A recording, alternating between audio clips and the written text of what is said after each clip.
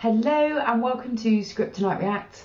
I'm Script Scriptonite. Today we're going to be watching season 1, episode 7 of The Expanse. The episode is called Windmills. Heck of a last episode, one of my absolute favourites of the season so far. Big questions I was left with. What is on the chip that Yao gave to Lopez, which now Fred Johnson has picked up? What are Fred Johnson's intentions? Is this a rescue mission or is this a suicide mission in which Fred can get rid of potentially Julie Mao or whoever this witness is and all of the other witnesses, which are the people on the Rocinante? Of course, either way, whether Fred Johnson is doing like a quote unquote good thing or a bad thing, Avasarala is watching so there is a link. It, it, I feel relieved that what's happening now with the Rocinante crew isn't happening in a kind of vacuum because I don't. I think at this point, I trust Avasarala Rala more than I trust Fred Johnson, but that's because I've seen Fred Johnson blow up a group of innocent civilians, and the worst thing I've seen Avasarala Rala do is engage in torture on an OPA suspect both awful, just in the sense of sheer size. So both of them can clearly do some shady stuff, but in terms of who's demonstrated themselves kind of most awful at this point, it would be Fred Johnson. That says nothing about what they could do in the future. How is Mars going to take the explosion of yet another one of their ships and what is now, I mean, this is an act of terrorism. There are no doubt going to be repercussions that hit the Belters.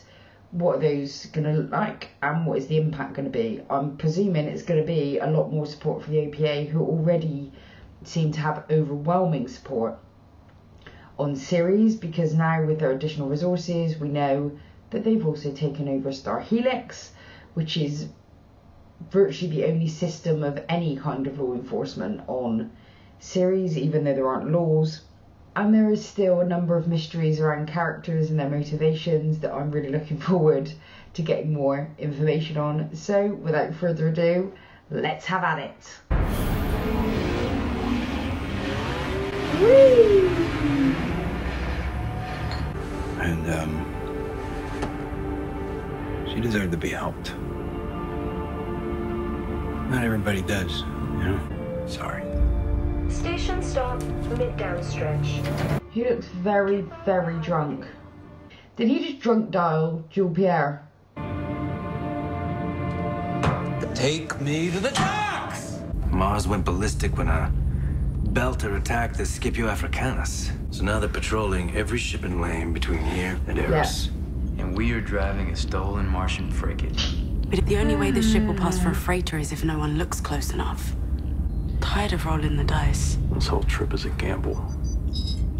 Just got pinged by a ranging laser.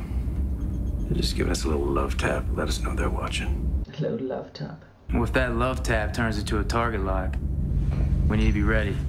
Right. Hey, y'all. Why are we broadcasting? What are you talking about? No one's broadcasting anything. Yeah, we are.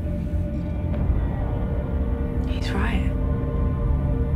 It's a radio transmission coming from between the holes. There's nothing down there but service and conduit. Could be a faulty controller. No. Oh, it's not. Amos, check it out. Amos! Amos. I'm on it. Why did he pause? What was that about?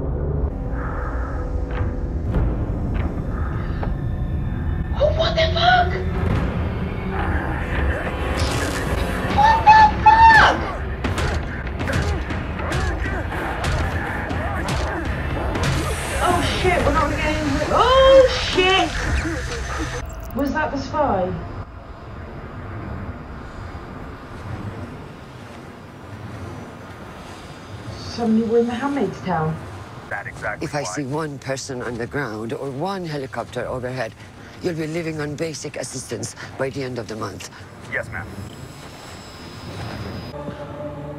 He's her again. I just gotta stop. I love this actress. She was Rose DeWitt-Bukater's mum in Titanic. But the purpose of university is to find a suitable husband. Rose has already done that. I Ellis Holden. I'm Chrisjen Avasarala, like UN Deputy Undersecretary. This about Jimmy? It is.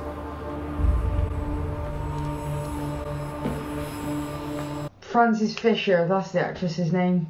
She was in Fargo season three and Titanic and lots of other stuff. Nothing. He's been with us since Tycho.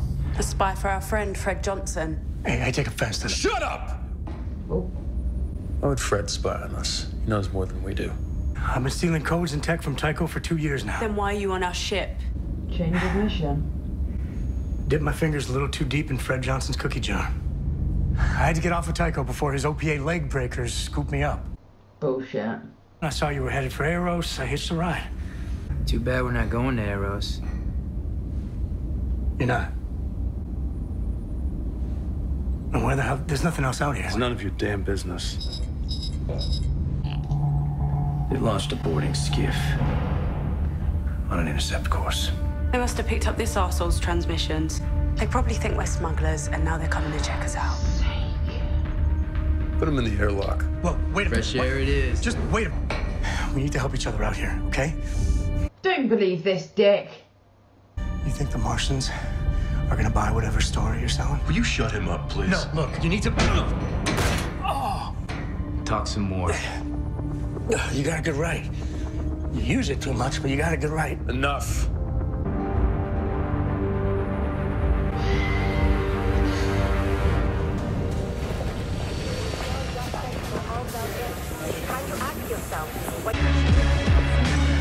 Detective Chapeau. Oh! Like some bad virus you just can't shake.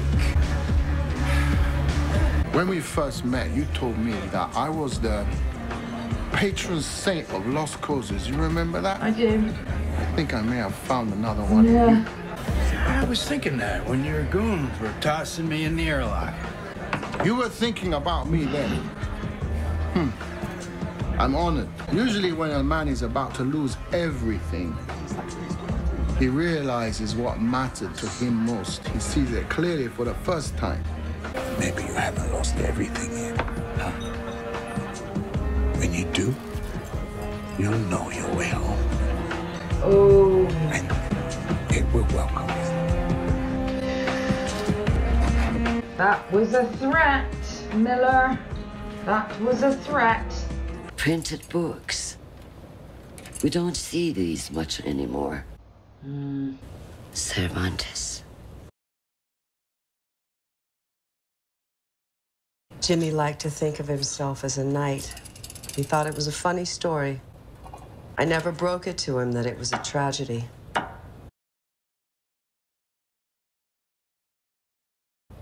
Can we stop with the bullshit now? Oh, I had a little left about hmm? how charming your home is. Should we sit down? Was he involved? Of course not. He would never. Oh, no, wait, I know this one. My boy was a little angel, and I thought we were done with the bullshit.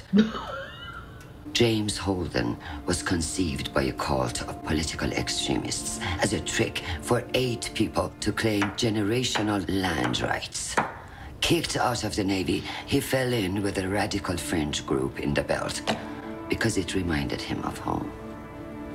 I can make shit up too. Why are you here? I need to understand your son. Tenante, we are going to Hang need on. your flight plan. and- Pause. Sorry, we're gonna come back. I know there's some drama happening, but I didn't want to skip over that scene because there's some important stuff in there about Holden's background. What were you gonna call him in the end? Uh, Go with Jim. So he's raised by very retro, earthy parents. They've got books. They're living on the land. So why did they join the Earth Navy? The enemy. his principles seem pretty cool.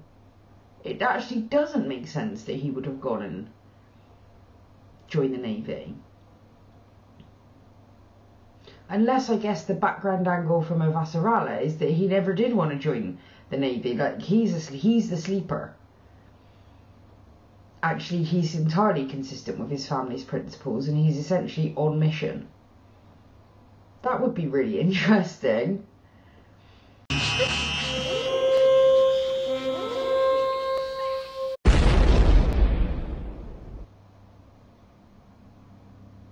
that would make sense why he sent out the communication because he would have the cover that look i panicked i was just trying to um, keep my people safe which you guys know i've never bought as a rational excuse because there's so many other ways that they could have done that. They could have just sent a, a communication saying we're being pulled in by a mars ship. If we disappear you know where we were. Um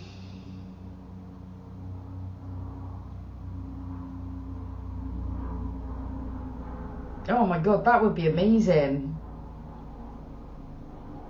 I would have been completely hoodwinked and I quite like it when that happens. But we're gonna see, we're gonna see. As I say, this is just me kind of thinking out loud, this is how I work. When I get some information, I sort of go, okay, let's try and follow that thread as, as far as we can follow it. Fight every battle, everywhere, always, in your mind. Everyone is your enemy. Everyone is your friend. Every possible series of events is happening all at once. Hmm. The plot thickens. And I did get some swears out of Avasarala there. Thank you, Internet. Oh. Play. Rocinante, you have been flagged for inspection per MCR Trade Regulation A066. Do not deviate from your present course. If you do, you will be fired upon. Oh. I have dealt with these Mickey patrols before. I'm not gonna lie to you. Either way this plays out, you're dead. And I'm the one that's gonna bring you the good news. You're loose end. This boss that I used to work for in Baltimore, he called it the churn. When the rules of the game change. What game? The only game. Survival. Where the jungle tears itself down and builds itself into something new. Guys like you and me, we end up dead. Doesn't really mean anything. Or we happen to live through it. Well, that doesn't mean anything either. If survival is the game, I can help us survive. So you tell your captain. You're not our captain. You tell who's ever in charge. I'll see you soon. Yeah, thought so. Why? Why?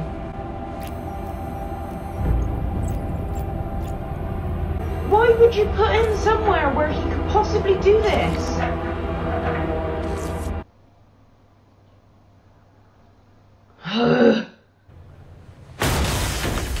Alright. Hang on. Pause. There's going to be a lot of pauses this episode, clearly. I was thinking when he was upstairs talking to everyone, like, is he just dragging this conversation out to get more of them talking? So that he's literally just gathering more intelligence. Oh. Anyway, play. Oh wait, he did go back to Julie Mao's.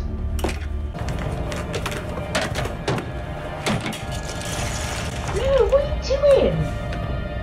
This is not going to help you, sir. You've got to pull your shit together and get a plan. He's going to get himself arrested. That's not going to help Julie Mao.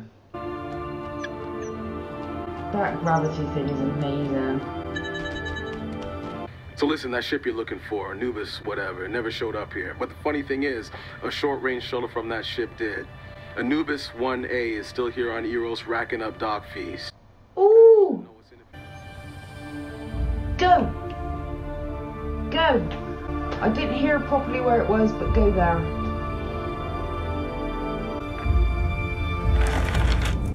Is that for me? To take me to some windowless room so your interrogators can make me talk? Nobody wants to arrest you. Then why are you here? I have the facts about your son, but I don't understand him. I think you're full of shit, lady. Jimmy is my son. He has all eight of us in him, but I carried him in my belly for nine months. He is mine. Wow. You have no idea what you're playing with here. Just arrest me. You put all your hopes on your son. I pressured mine to join the Marines, or I wouldn't pay for his education. First step in a career of public service. That's why he was in Callisto during the insurrection. That took his life.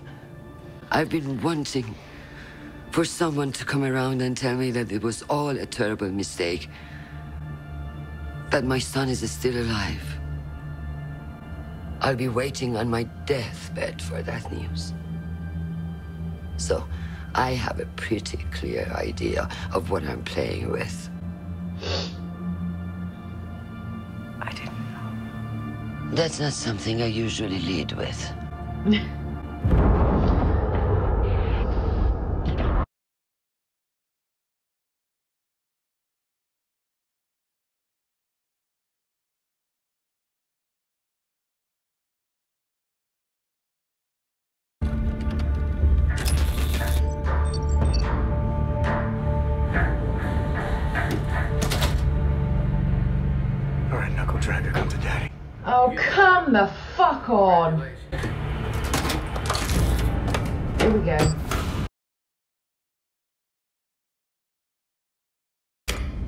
Secure for prisoner.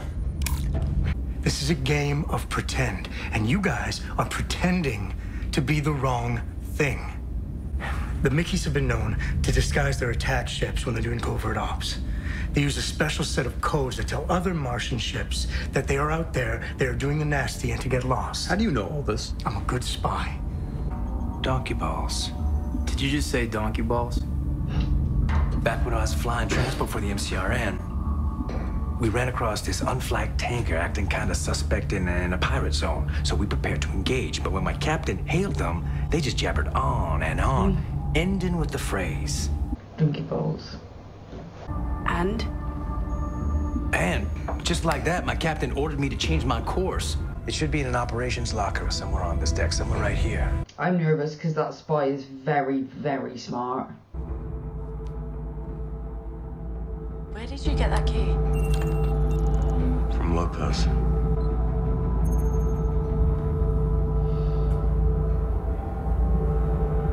Twenty-four digits. Donkey balls. Shit. You done with the hat? Wow, shit. Gonna take a trip. To where? Eros. You're gonna need someone to watch your back. A partner. Okay, better do this one alone. You were alone in that airlock.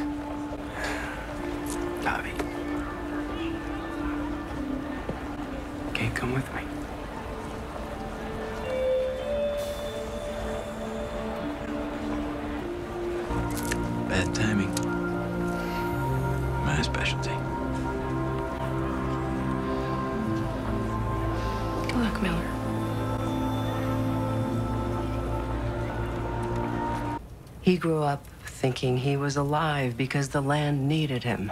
Hmm? That's a terrible thing to tell a child. Yeah. He stood at the gates to greet whatever goons the government sent to harass us. No offense. None taken. We set him up to be a leader and then gave him a fight he could never win. The day before his 18th birthday, I took him out to mend a fence. And I told him to get as far away from this place as he could. And that if he didn't go, then I would. Because I couldn't stand to watch what we were doing to him anymore. You were right to open the cage. I get a lovely message from him every month or two from some ship or other deep out in the system. Jimmy still hasn't found his place, but at least he's free.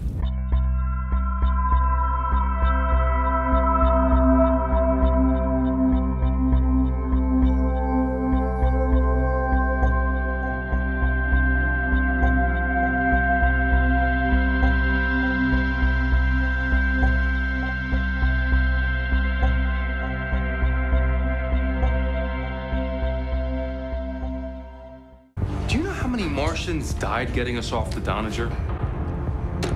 Ship that size? A few hundred. And now you're gearing up to kill a few more like it was nothing. Because they are the enemy right now. And we're the fugitives. And as far as they're concerned, we're the ones who blew up the Donnager. And I am not spending the rest of my days in a Martian gulag. What the hell are you babbling about? I'm talking about that clown upstairs that as soon as you cut loose will sell us to the highest bidder. I'm talking about the Mickeys coming through that airlock to take us down. You logged the distress call, Holden. Welcome to the churn. Naomi was right to be afraid of you. Proximity oh. alarm, people. He's all about the churn this episode. Oh shit. Can we please not take out another Martian ship? This seems unfair at this point. Done talking, Holden. We're about to have company. I will take you down before I let you take them down. Oh shit. You got a clean shot, back of the head. Take it if you need it. Rocinante, release your outer airlock door now, or we will breach. Hey there, boys. Just a couple of sec there, friendos. Uh, Donkey balls! Got it!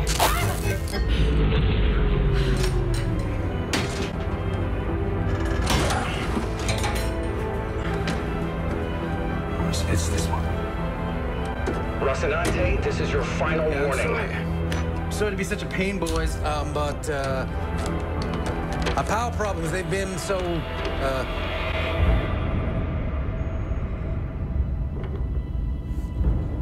ubiquitous and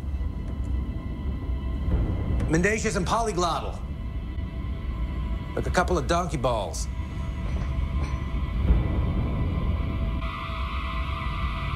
Received and understood, Rocinante. You get those comms checked out when you hit port. You got it, fellas. And uh, hey, you boys be careful out there, here? You too, Rocinante. Safe travels. Can you believe that? Damn, I'm good. That worked out. Well done, y'all. Burton doesn't give two shits. I don't see a terrorist mastermind. We'll have the asset bag him and bring him home for a long chat. Your corporate spy's been compromised. He's missed his last two com windows. His final report said that Holden was heading for Eros in a converted MCRN gunship with fake transponder code supplied by Fred Johnson. So, your analysis of his character notwithstanding, I've activated a Black Ops team. We're taking Holden off the board. Taking him off the board for a series of circumstances. He's done. Field trip's over. I need you back here. Fuck's sake! That's a wrong decision.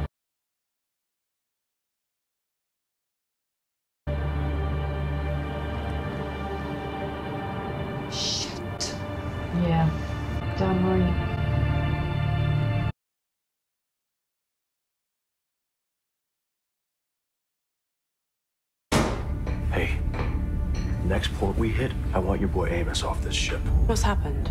Whatever leash you had him on, you better get him back on it. He's not my dog. Getting shown the road? Look. Get him under control. You're the only one who can.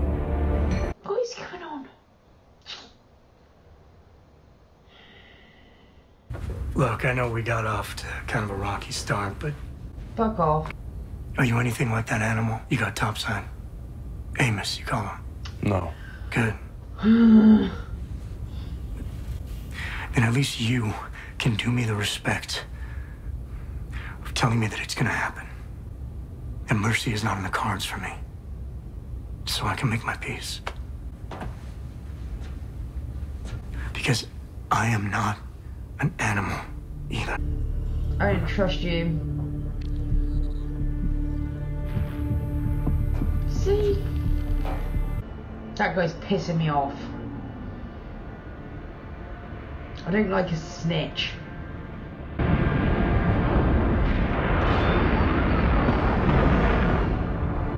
Ooh.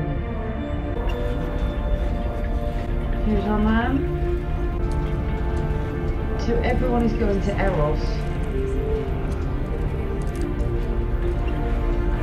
Wow. Bloody hell.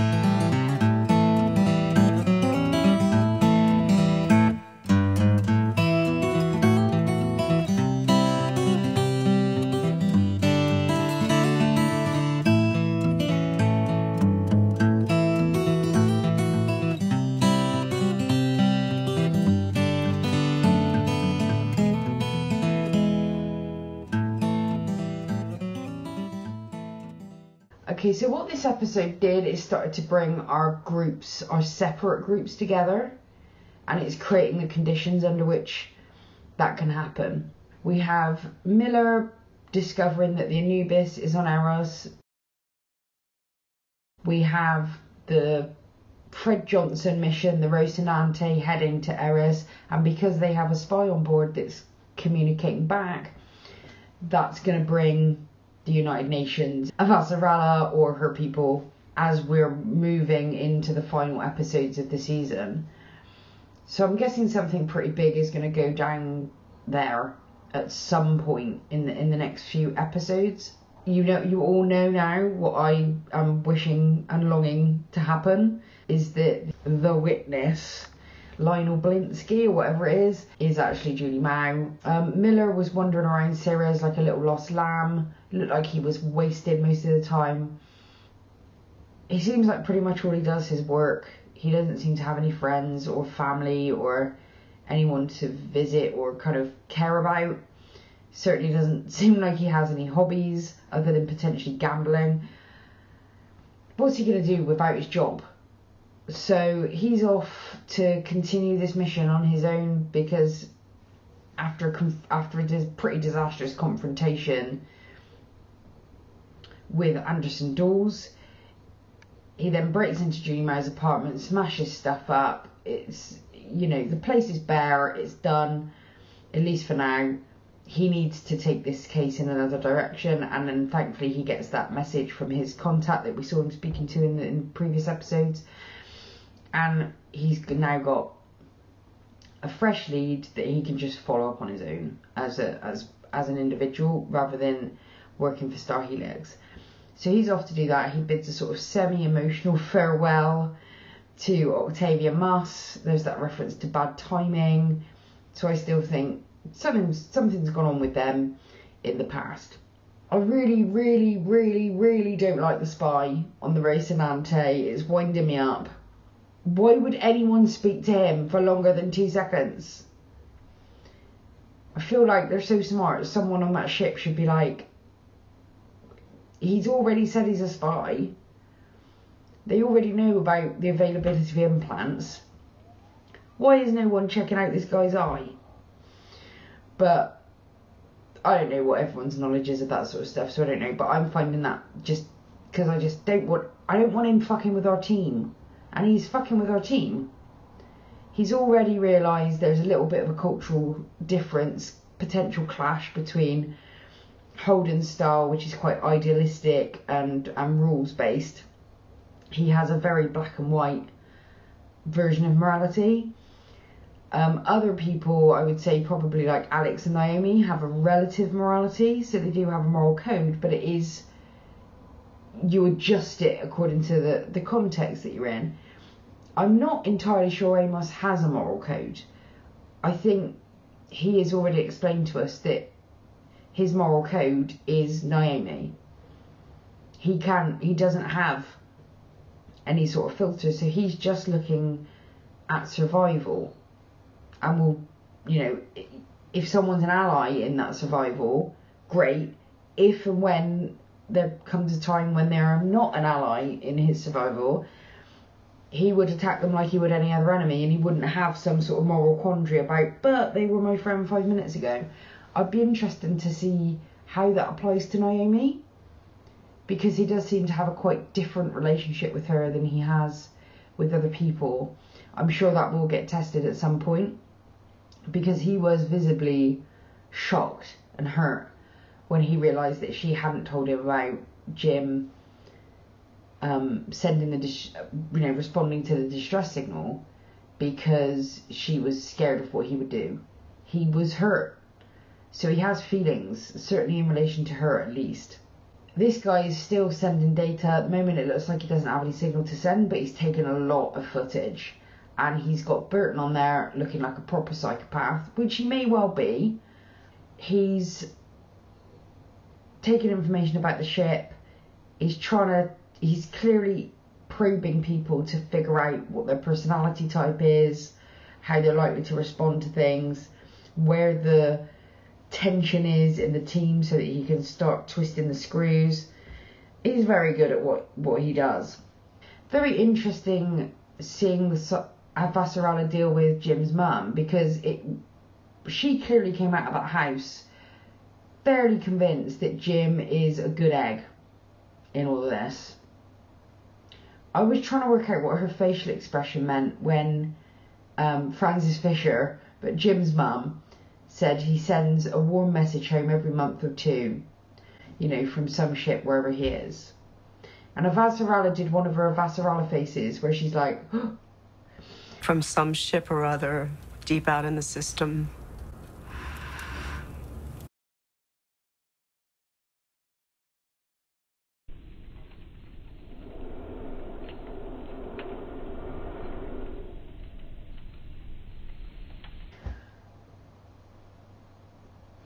And I don't know if she had an idea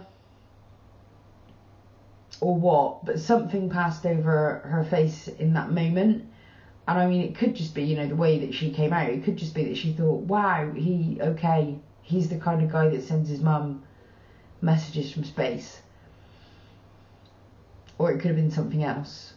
Uh, in the moment, I thought, oh my god, she's gonna, she's gonna put her under surveillance so she can get that. You know, at some point, he's gonna want to talk to his mother.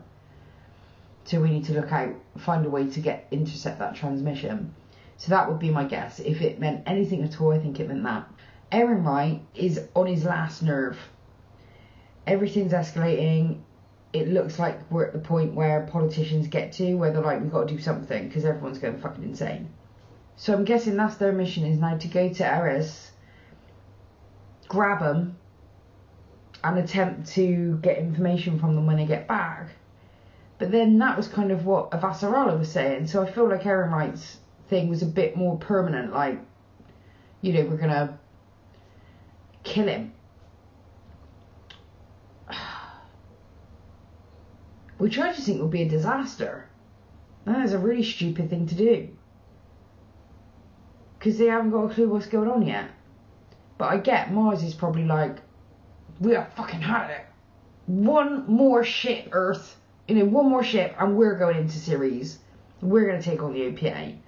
I mean, that that stuff would have to be happening behind the scenes because you can't just keep taking Martian ships at this guy and there's going to be no consequences. And I guess at a certain part, point, Mars is going to say, look, you know, you are being so unhelpful with this. We're starting to wonder if it's not the OPA and it might just be you. So I get that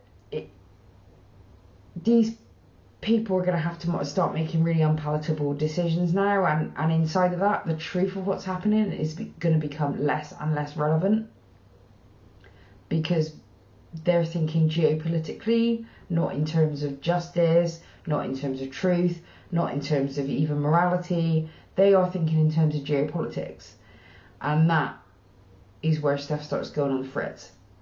So I really enjoyed this episode. I, I do like the episodes where we get like a pivot. And this episode felt like a pivot, like the start of like the sort of third, fourth act of this season. And I'm I'm in. I'm really, really keen to you know, bring everyone together and see what happens. lovely episode, well well delivered, and I can't wait until the next one. Until the next time, bye bye.